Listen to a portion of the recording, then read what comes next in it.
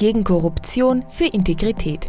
Wie weit wird bei Geschäften unter der Hand gegangen? Ein Thema, in das es schwer Einblick gibt und dennoch behandelt werden muss. Korruption darf nicht unter den Tisch gekehrt werden. Professor Magister Eva Geiblinger weiß, wie es um Österreich in Sachen Korruption steht. Wir sind mit dem internationalen Corruption Perception Index in den letzten zwei Jahren dramatisch abgestürzt. Das CPI ist ein Wahrnehmungsindex, das heißt, wie wir international in den verschiedenen Branchen, in den verschiedenen Aufgabengebieten im öffentlichen und Privatsektor wahrgenommen werden.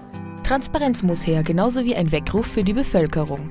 Korruption sei kein Kavaliersdelikt, sondern eine Straftat. Es wird an der momentanen Gesetzeslage gearbeitet. Es gehe mit kleinen Schritten voran. Das Wichtigste dennoch Öffentlichkeitsarbeit, so Ingenieur Robert Zwettler.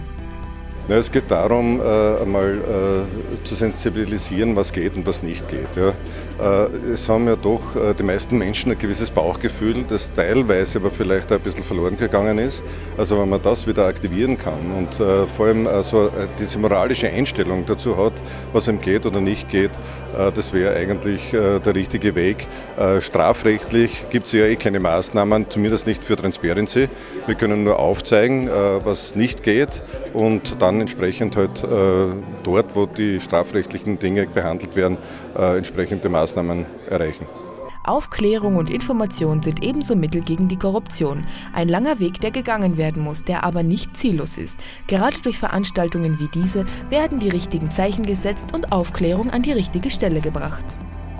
Wir sind Gott sei Dank in der glücklichen Lage, dass alle öffentlichen Ausschreibungen sehr klar definiert und geklärt sind und da stellt sich bei uns die Frage überhaupt nicht. Ich höre es aber von sehr vielen unserer Kunden, dass es speziell in Kontakt mit osteuropäischen Ländern immer wieder ein heißes Thema ist, äh, was ist möglich, was ist nicht möglich.